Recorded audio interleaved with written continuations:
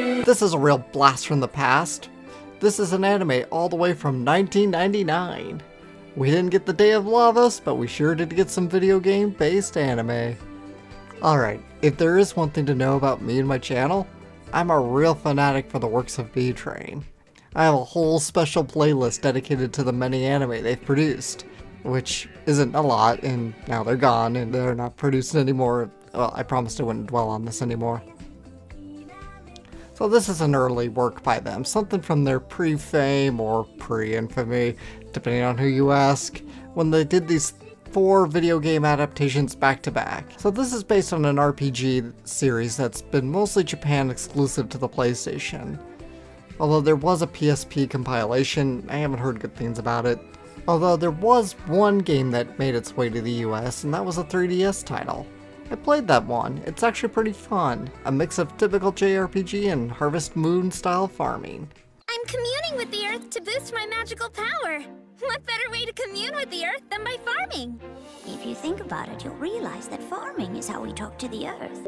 Thank you! That was just the lesson I needed, Grandma! I don't know where the anime falls in the timeline of games, but I think it could be set between somewhere 1 and 2. It may just be non-canon anyway. It's about a prince named Pietro, his witch friend Narsha, and a girl named Hugh, who comes from this presumed extinct tribe. And Hugh, as far as I can tell, hasn't shown up anywhere else. She's certainly not in the 3DS title, so she's probably anime exclusive. For the most part, the show is pretty episodic, though there is a bit of a story that shows up a little bit more into the whole 26 episode run, but so much of the show seems to focus a little more on Hugh and not quite as much of Pietro and Narsha, but it's not like they get totally shafted either. I started watching the show some time ago, but I put it off and only watched it finally this year with some friends of mine, and you know what? It was an alright show and I enjoyed it.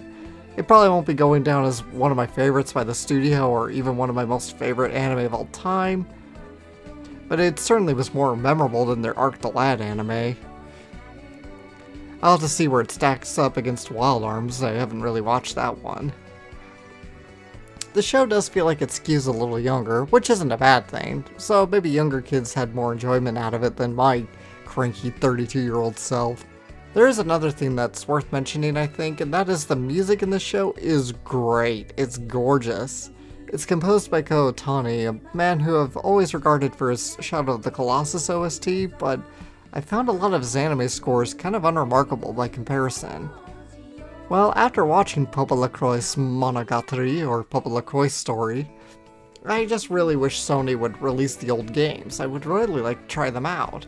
And plus I played the 3DS game as I mentioned, that was fun. I don't know if there's some kind of rights snafu holding it up, because it does seem like this might be a pretty vast franchise that expands even beyond the video games, and predates them for that matter. So there you go, that can complicate it.